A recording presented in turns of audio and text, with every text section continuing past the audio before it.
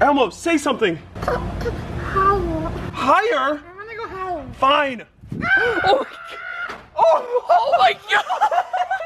Oh Elmo's pronounced dead at the scene.